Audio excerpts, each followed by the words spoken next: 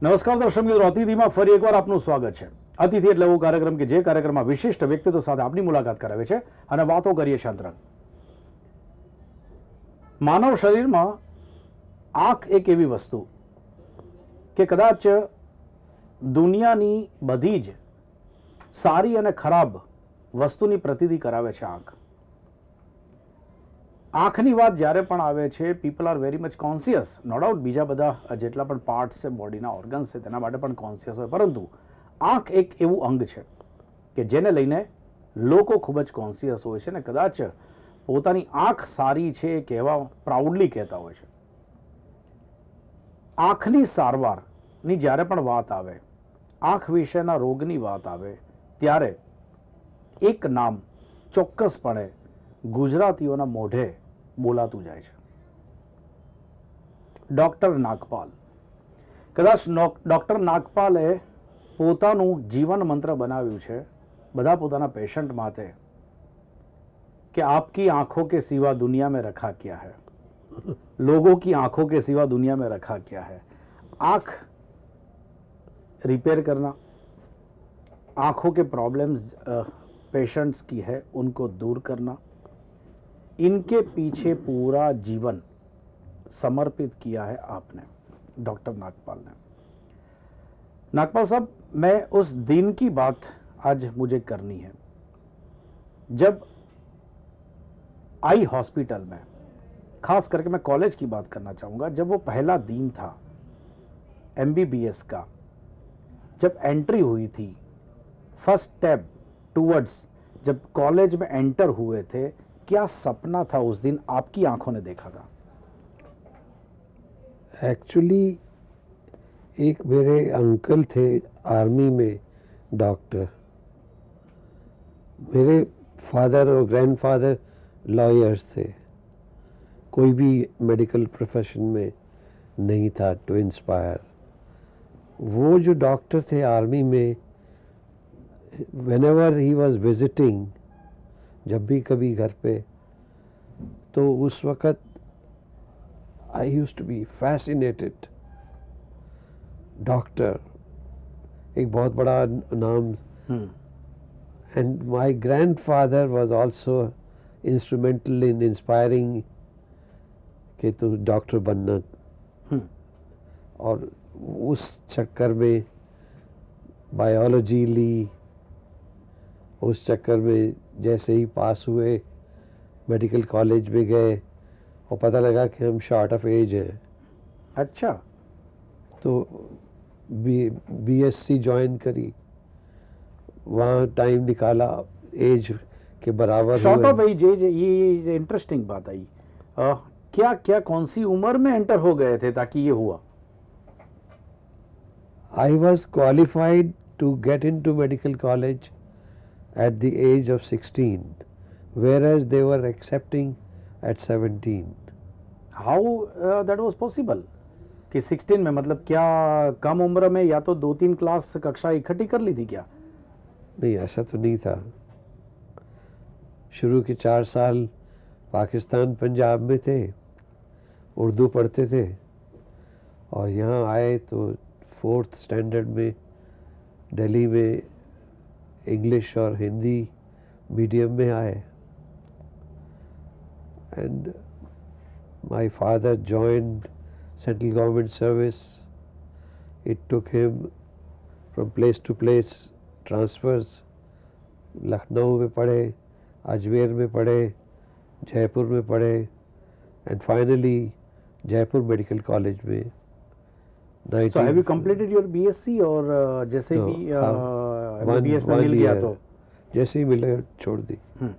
कैसा क्रेज कैसा क्रेज उस वक्त? और जैसे कि आपने बताया आप बहुत फैसिनेटेड थे कि I want to be a doctor क्योंकि एक कैरेक्टर आप देखते थे एक- अपने फैमिली में। एक नोबिलिटी दिखती थी।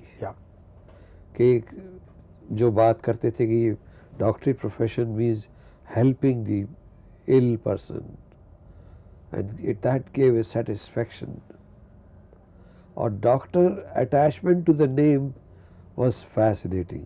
Now straight question आपने कहा कि एक नॉबिलिटी दिखती थी, जो सही में पीड़ित लोग हैं, जो सही में दर्दी है, उनकी सेवा करने का एक मौका पाना, वो भी अपने आप में एक बड़ी बात है। शायद वो ब्लेसिंग भी कह सकते हैं कि बहुत कम लोगों को ऐसा ब्लेसिंग मिलता है ऊपर वालों का, कि जो इस प्रोफेशन में आते हैं।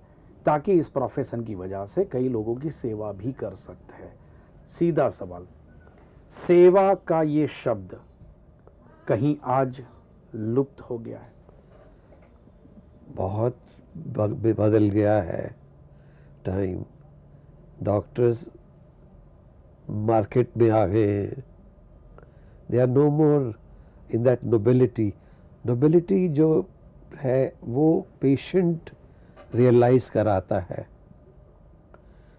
अपने आप में प्रोफेशन में नहीं है कोई भी चीज़ अपने आप में प्रोफेशन में तो यही है कि आप देखो और पैसा लो और जस्ट लिव एज अदर्स लेकिन पेशेंट की फीलिंग उनके फैमिली मेंबर्स की feelings that real makes you realise कि there is a nobility in the profession किसी और प्रोफेशन में ऐसा नहीं होता कि ठीक होने के बाद वो पैसे देता है फिर भी हाथ जोड़ के और बेंड करके आपके पाँव छूता है और फिर कहता है थैंक यू डॉक्टर पैसा दे के बोलता है थैंक यू कोई रेस्टोरेंट में नहीं कहता रेस्टोरेंट में नहीं होता लेकिन शॉपकीपर में नहीं करते लॉयर के साथ नहीं करते।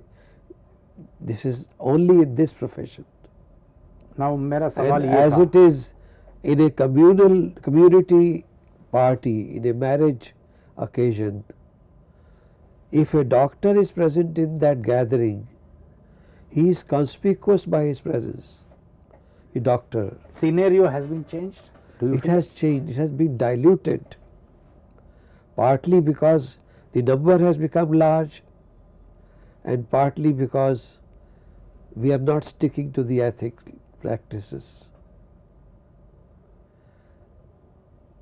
किसी ज़माने में हम एज ए आँख के डॉक्टर कहा करते थे कि जब कभी एक आँख वाला पेशेंट होता है तो आई एम मोर केयरफुल लेकिन मुझसे पूछा जाता कि क्या तुम केयरफुल नहीं हो जब दोनों आँखें होती है किसी की? And I would say I am equally careful the difference between equally careful and more careful For the one eyed has no nothing substantial but it conveys your feelings for the patient that he should get well. यहाँ रोकूंगा बातें करेंगे यही ethics की जो oath लिए जाते हैं जब डॉक्टर बनता है तब उसकी बात करेंगे एक छोटे से ब्रेक के बाद दर्शक मित्रों समय થયો છે વિરામનો ડોક્ટર નાગપાલ સાથેની વાતો બીજા તબક્કાની એક બ્રેક બાદ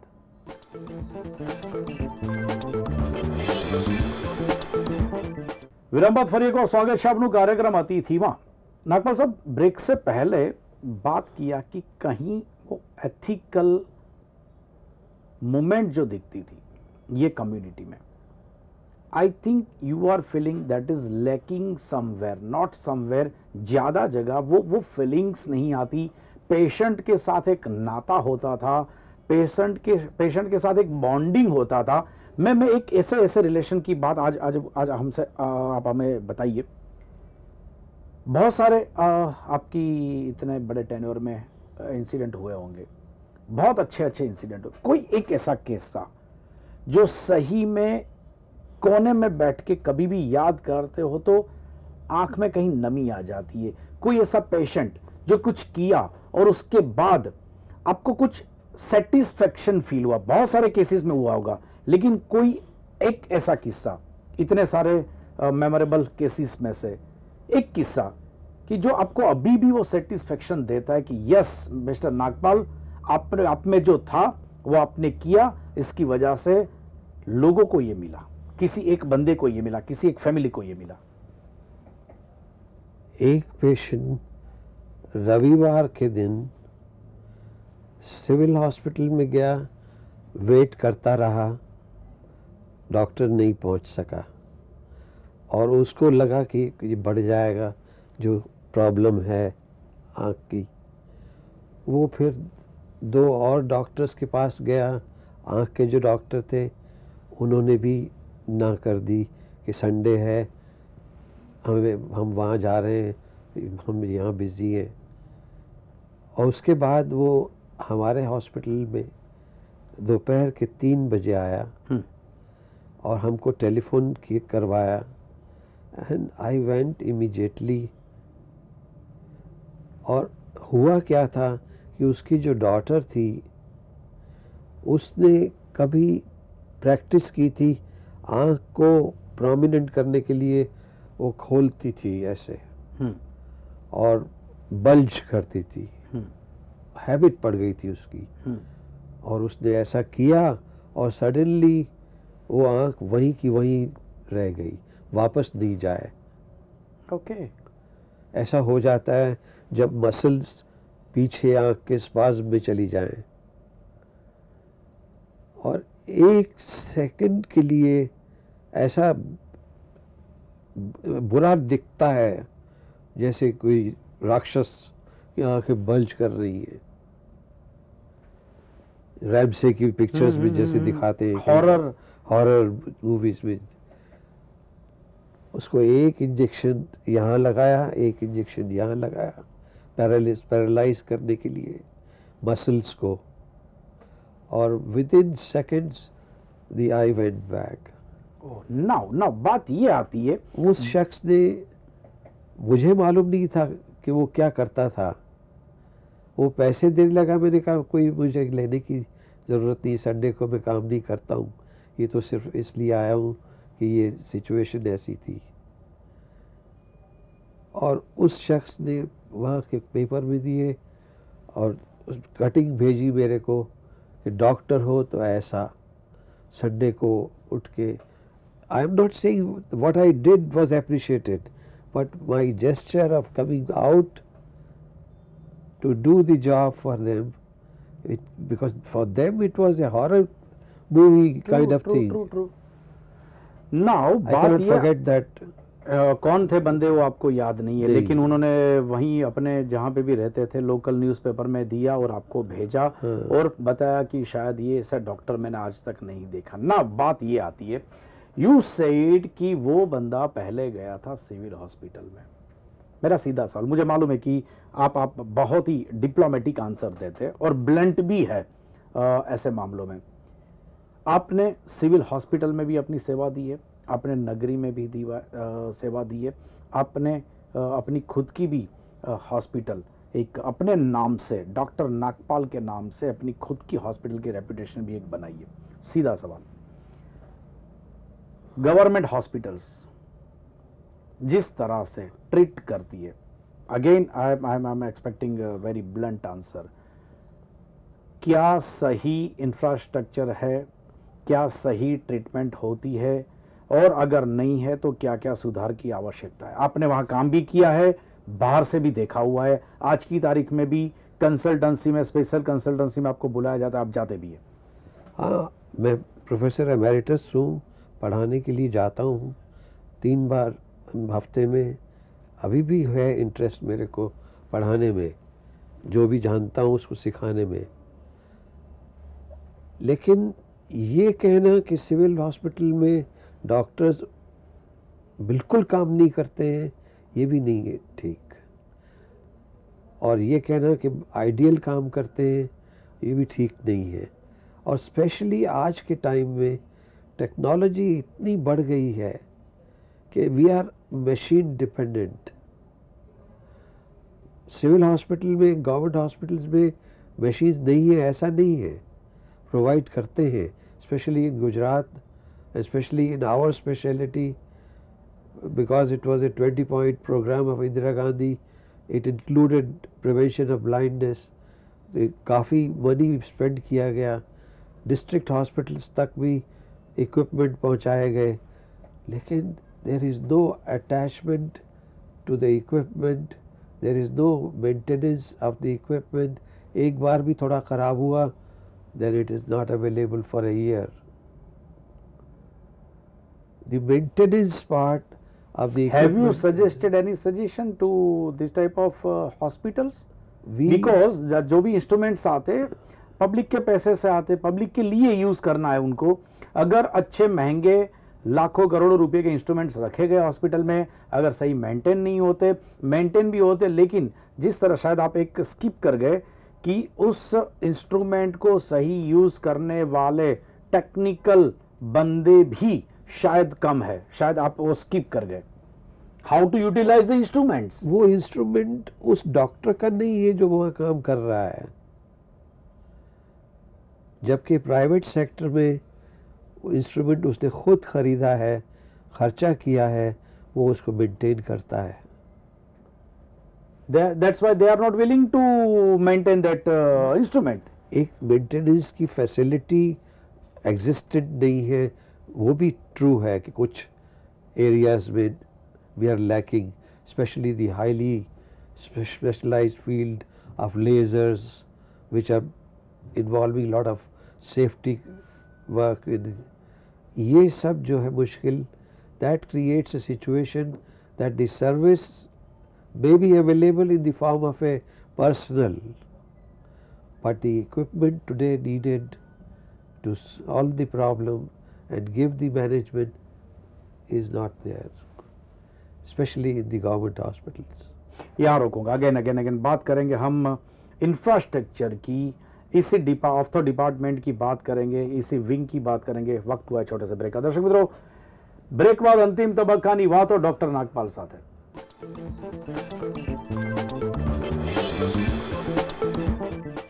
विराम फरी एक और स्वागत है आती थी माँ नागपाल साहब, आपने बताया कि इंस्ट्रूमेंट्स है, लेकिन सही मायने में वो मेंटेन नहीं होते।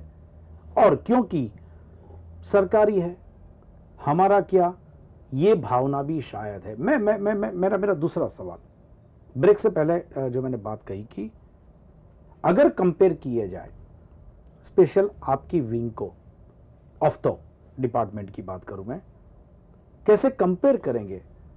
हिंदुस्तान में जो टेक्नोलॉजी जो यूज़ की जाती है डॉक्टर जिस तरह से अपडेट है अपडेटेड है अगर कंपेयर किया जाए डेवलप कंट्री के साथ how can you compare we are more, but we are in islands. It's not universal, every hospital is the same equipment, same level of working. But there are islands of excellence which fulfill that gap. But they are mostly in private sector. not in government Government sectors में maintenance is the main reason which creates the problem. एक बार instrument थोड़ा सा बिगड़ा, वो गया workshop में भेजते हैं। Every hospital big hospital has a technical workshop but they are themselves insincere they are themselves insincere to their own equipment so the instrument keeps lying for months and years together without repair instruments की बात करें, नागपाल साहब अभी जो current instrument है, उनके बारे में बात कर रहे हैं। जो गवर्नमेंट हॉस्पिटल्स में करंट इंस्ट्रूमेंट्स पड़े हैं, अच्छे अच्छे हाईटेक इंस्ट्रूमेंट्स है स्टिल दे आर नॉट मतलब keeping in a good condition उसके बावजूद, उसके अलावा, नागपाल साहब के खुद के पास ऐसे ऐसे इंस्ट्रूमेंट्स हैं। तीस साल पहले वाले, चालीस साल पहले वाले, पचास साल पहले वाले, जो कि आज की तारीख में देखने के लिए, उसे देखने के लिए, हिंदुस्तान के अलग अलग कोने से आते वर्ल्ड के अलग अलग कोने से आते हैं आपके अपने खुद के, शायद आपने डिज़ाइन भी किए हुए हैं, इनोवेशन भी किया हुआ है, किसी का हेल्प लेके, कोई टेक्निकल पर्सन आपने आइडिया दिए, ऐसा इंस्ट्रूमेंट है जर्मन जर्मनी बनाती है, अमेरिका बनाता है, फ्रांस बनाता है यूके बनाता है, क्यों ना हमें ऐसा किया? ये इनिशिएटिव आपने भी लिया हुआ है पास्ट में। मैं उसकी बात करता हूँ कैसे कैसे इंस्ट्रूमेंट्स नागपाल जी ने खुद ने कोशिश किया कि यार ये तो हम भी कर सकते हैं। Why we are dependent on some other foreign manufacturers हुआ है। Yeah. इम्प्रोवाइज किए। नए बन, इंस्ट्रूमेंट बनाए। क्योंकि हमारे पास इतना पैसा नहीं था कि इंपोर्ट कर सके। क्योंकि उस इंपोर्टेड इंस्ट्रूमेंट को मेंटेन कर सके। और डिपेंडेंट रहेंगे अगर मेंटेन करना है तो। उनके ऊपर। तो ऐसी सिचुएशंस में हमने जो इंजीनियर पेशेंट्स आते थे हमारे पास, उनको साथ बिठा करके एक राजकोट में है, अडीचा फैमिली उनके लड़के को ऑपरेट किया और देवर engineers in the family they became very much satisfied और उन्होंने ऑफ़र किया कि दे विल प्रिपेयर एक पूरा underground basement lathe machine drilling machine ये सब इंस्ट्रूमेंट्स मंगा करके लगाए और वो इंजीनियर वर्क करते थे to maintain the equipment of ours plus create new improvisations so that they are suitable to our times and our satisfactions. काम आँख का मामला। इमरजेंसी इतनी नहीं होती है। बाकी अलग अलग फ़ील्ड के जो डॉक्टर्स हैं उनमें इमरजेंसी यदि आईज में कम आती है। Relatively. Still compare to it is lesser it is much less compared to cardiologist compared to a neurologist क्योंकि जैसे ही होता है कुछ you have to rush immediately because the time is less doctor always चाहता है कि मेरा बच्चा या बच्ची मेरे ही प्रोफेशन में आए मैंने जो इमेज बनाई है उसी इमेज को कंटिन्यू करे। शायद ऐसा ऐसा ज़रूरी नहीं है लेकिन ज़्यादातर जो खुद होता है वो चाहता है कि मेरा बेटा वही बने। हम्म, वो लॉयर लॉयर बनाना चाहता है। हम्म। डॉक्टर डॉक्टर बनाना आप में भी हुआ ये? हमने कोशिश नहीं की। मेरी वाइफ भी गायनेकोलॉजिस्ट है। दोनों बच्चों में कोई गायनेकोलॉजिस्ट बनने को तैयार नहीं था डॉक्टर बनना चाहते थे आई सर्जन बनना चाहते थे because they felt that you can get more importance and plus is a field where the mother was all the time going for emergency, and they never used to like that. Now now now यही बात आती यही बात आती है अपनी खुद की लाइफ में स्ट्रगल किए। आपने कहा पाकिस्तान से हिंदुस्तान। हिंदुस्तान में अलग अलग कोने में घूमते घूमते पापा की transferable job ultimately Lucknow Jaipur, Jaipur. Jaipur medical की पढ़ाई उसके बाद ये प्रोफेशन प्रोफेशन में इन्वॉल्वमेंट इतना इन्वॉल्वमेंट कि शायद हो सकता था कि उस मकाम पे जो आप पहुँचे हो just because of that involvement कोई भी छोटा सा पेशेंट हो, चाहे कोई गरीब है, लेकिन लगा एक अंदर से संवेदना थी पेशेंट के प्रति एक लगाव था। क्या फैमिली ने सेक्रीफाइस किया नागपाल साहब की इस कैरियर में? सेक्रीफाइस तो नेचुरल है, क्योंकि जो टाइम मुझको फैमिली को देना था वाइफ को देना था, बाहर जाने के लिए या कहीं शाम को घूमने के लिए, वो that time got utilise in the profession and I made it a point that whatever books I have written some of the books I made the special dedication to the children and the mother of the, the of the children because they, have worked on the borrowed time. So they always feel that your home is the hospital.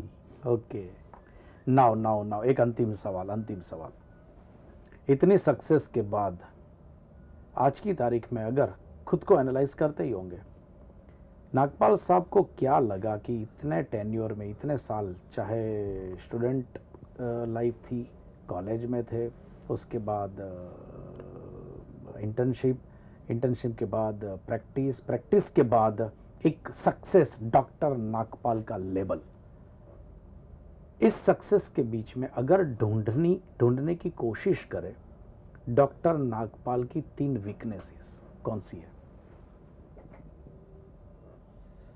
बहुत मुश्किल सवाल पूछ लिया आपने।